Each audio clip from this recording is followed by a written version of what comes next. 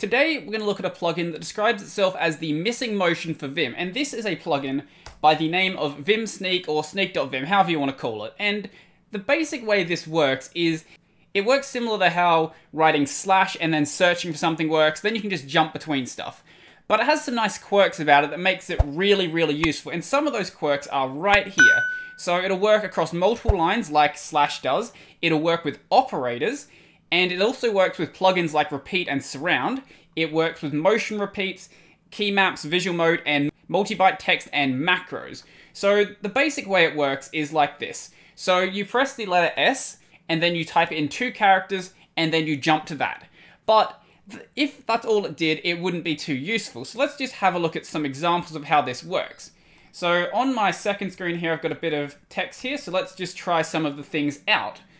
So if we go right to the top, and let's say we wanted to do something like jump to any instance of the letter A, all we have to do here is if we write S, A, and because we don't have a second character here, we can just press enter.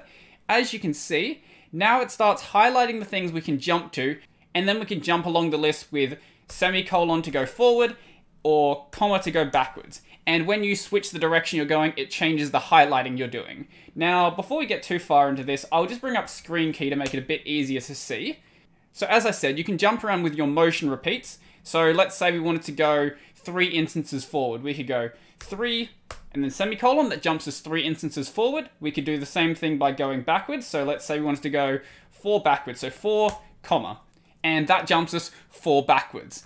You can also do repeats by pressing S if you set up the S next option, but I find it easier to just jump with semicolon and comma and then keep S to when I want to change what I'm actually searching for. So say I want to jump to right here and then I want to search for something else. So if I had S set up to do the next jump, then I wouldn't be able to press S here to go and actually search for something different.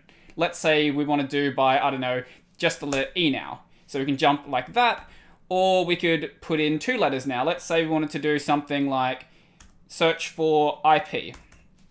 And then it just jumps to that. And it seems like there's only one instance of IP, so that might have been a bad choice. But now that we're at this point, why don't we just search backwards? So if we press the letter capital S, this will let us jump backwards. So as you can see down the bottom here, every time I press S or capital S, it brings up a little prompt down here, so we can actually see what we're typing. And let's say we wanted to jump on, I don't know, uh, ER or RE. So there's two instances of that in this text box. So we can go to the next one by just pressing semicolon. We can go the other direction by pressing comma. Another cool thing you can do is actually limit yourself to a vertical search space. So what this is basically going to do is say we do by five columns starting at the point we're at now. What it's going to do is create a vertical slice basically of the document and then it's just going to do the search within that vertical slice. It doesn't matter how many lines apart it is, it's just going to look within that vertical slice. So let's say we did it by five columns and we search for the letter I. So the way that would work is five, this is the number of columns we're going by, then we go S, and then the thing we want to search for. So in this case, I'm just searching for I. And if we go backwards from this point, this will give you a good example of what it's actually doing as you can see, it's actually highlighted everything that's within that vertical cut, and this is the only place it's going to be searching for stuff for. Let's do it by IS actually, and that can give you a bit of a different example. So if we go 5SIS, as you can see, it's highlighted the things that are here, so we can go forward with semicolon, we can go backwards with comma, and as we go backwards, it will then actually highlight the search space that this is actually looking in. And we can just go to any of these, go forward, it will show you the search space in the other direction now. So searching is cool and all, but that's not all we can actually do with this. If we look at the GitHub page, one of the cool things this can actually do is it interacts with operators. So the operators within Vim are right here.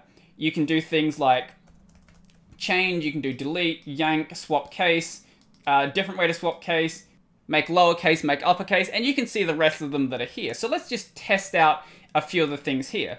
Let's say we wanted to do something like delete, I don't know, five instances of the word is from here. Now, if you're going to be using this with operators, you can't use the letter S just because S is being used by one of the other plugins that this actually interacts with. So what we have to do instead is use the letter Z. So if we were to go something like 5D, so delete the next five instances, Z, and then what we want to actually search for. So in this case, we're going to be searching for the word is. And as you can see, it deleted five instances of the word is. Now that we've started messing with an operator, this is where I think the plugin starts getting really cool. So keep in mind that we don't just have to use deletion, we can use any of these other operators as well. So we could use change, yank, anything like this. I might go and show you one of those in just a bit, but for now we're just going to keep working with the deletion example. So now that we're at this point, there's a couple of things we could do. Let's say we wanted to do the deletion, but from a later point in the document. What we could do now is we could go and research for is, but we don't actually have to because we can still do motion repeats from this point. So if we were to press semicolon, as you can see, it'll still repeat the motion that we last just did. So we can go to a later point like this, and then if we have repeat.vim installed, what we can do from here is if we were to press dot, what that's going to do is repeat that last deletion we did, so 5 delete searching for the word is. That, I think, is really cool. So let's go a bit earlier in this. So let's go back here, and let's say we don't have repeat.vim installed, we can still repeat our deletion. So if we were to go d and then semicolon, that will then do a deletion based on the last thing we searched for, which in this case is is. And you can do that more than once as well. So if we were to do something like, say, 5d semicolon, what that's going to do is do five deletions based on the last thing we searched for, which in this case was is. So it deletes the next five instances of is. And we can also do Z backwards as well. So if we go back to an earlier point, so then if we were to do something like, say, 4D capital Z, so like with capital S, capital Z means to go backwards, and then we'll search for IS again. Now, because we were sitting on an S character, it's not going to behave the way that we would have expected it to. So you actually have to be just after that point. Because our cursor was actually sitting on the S, it will act a little bit differently. So if we do that again being actually after the S, 4D capital Z IS, now it acts the same way that we would have expected it to. So just keep in mind that if your cursor is currently sitting on the character, that it might not act the exact way you would have thought it would. It's just a little bit of a quirk with working with Vim. So I did mention that this does work with other text operators as well. So let's go to the start of the line. Let's actually fix all this up, go to the start of the line, and pick another operator to work with. So say let's work with make uppercase let's see how this would work. So if we go G, capital U, Z, because we're working with a text operator, and then IS, and that's the thing we're searching for, it will make the next instance of the letters IS capitalized. Now, if you're using a system that doesn't ignore case, my Vim does ignore case, so I can't actually do repeats from this point. So if I press dot here, as you can see, it doesn't do anything because technically on my system, this instance of IS in capitals is the same thing as lowercase is. If I did it with capitals in it from the start, it would be treated as a different thing. I just find it easier to be ignoring case most of the time, but with things like this, it does tend to get in the way. So if I want to repeat it, I have to actually go to the next instance by pressing semicolon, then go dot, semicolon dot, semicolon dot, so on and so forth. But we don't have to do it like that, so let's just clean this bit up. Let's go 5G lowercase u capital Z IS, and that will make the next five instances of IS going backwards lowercase. So what I can do instead is I can go 5G capital U and then go Z IS, and that will make the next five instances of IS capitalized without having to deal with the fact that it's going to be ignoring case. There is one last cool thing I want to mention, and that is that this actually works with Vim Surround. So if we do something like this, if you haven't seen my video on Vim Surround, basically what YS means is the command to basically surround something. So what we can do is YSZ, so surround something, search for it with the letter Z, and then what we want to search for, and then at the end, we basically put what we want to surround it with.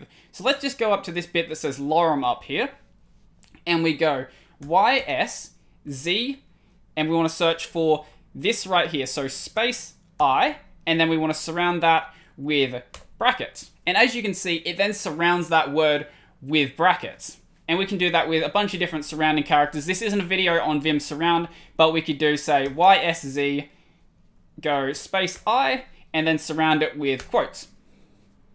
That is really cool. I do like Vim Surround. It was a bit finicky to work with, especially if you just want to surround one bit of text. But with something like this, it actually makes it really, really easy to do. So let's say we wanted to go up here and we wanted to surround up to this point here. So space S. what we can do here is we can go YS, Z, space S, and then surround it with quotes.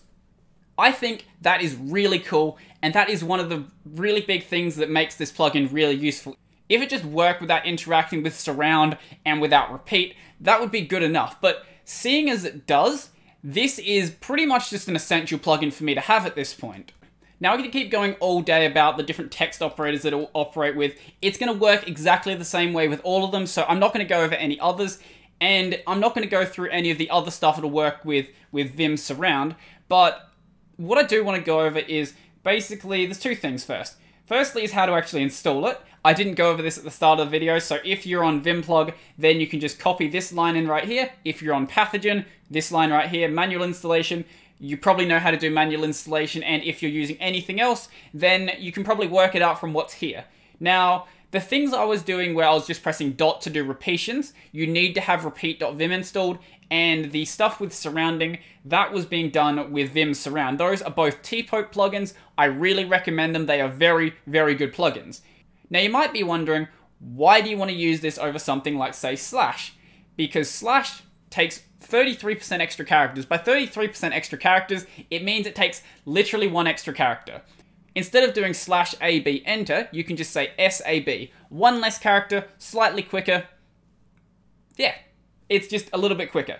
One thing I didn't go over is you can actually go back to the start of all of your jumps. Now, I probably should have mentioned that actually. So let's say we go SIS, and if we were to press quote quote, that will then take us back to the start of our jump list.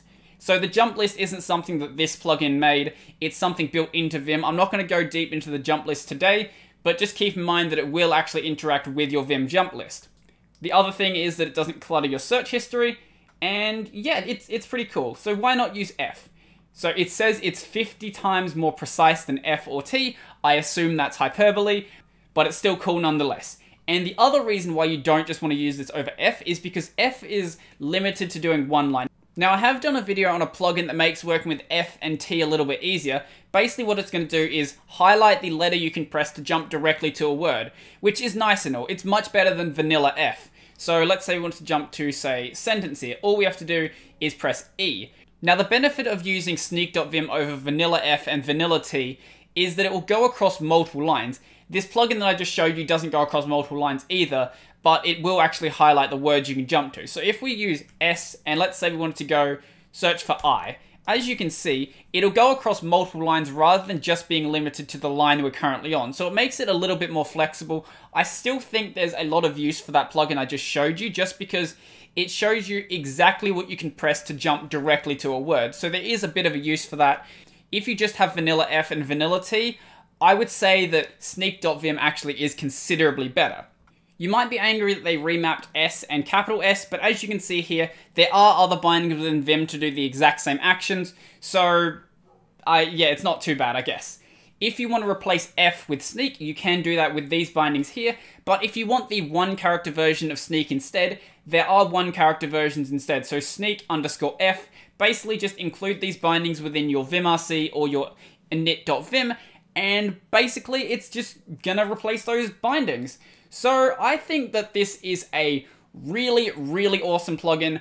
I am not very good with Vim, but I felt like this was really, really easy to get used to, and I've been using it pretty frequently since I first installed it. So I think that's pretty much everything for this video, but before I go, I want to thank my patrons. A special thank you to Joachim, Nathan, Tiki, Anju, Platinum, Road, Tony, Ray, and Zilva. If you want to join the Patreon, there'll be a link to that down below, as well as my Amazon affiliate links where you can buy the gear I use on this channel, or just anything you want, and I'll get a small kickback for it. Remember to go check out my podcast, Tech Over Tea. That is available on YouTube and LBRY, and the audio version is available anywhere you can watch podcasts. Also, remember to go subscribe to this channel and ding the little bell icon down below, and remember to smash the like button and leave me a comment down below as well.